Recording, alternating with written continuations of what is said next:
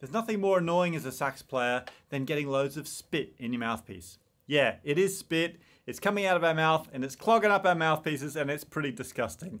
Now, you're gonna have this problem if you're a new saxophone player, but even if you're really experienced like I am, it can still happen, particularly if you've changed your reed brand maybe got a new mouthpiece or got a new saxophone. So I always tell our members inside Sax School, it is something that gets better, but here's three things that you can do that will improve it more quickly. Number one is don't be eating while you're playing. No sandwiches, no cans of soft drink. Second thing is always have some water before you play.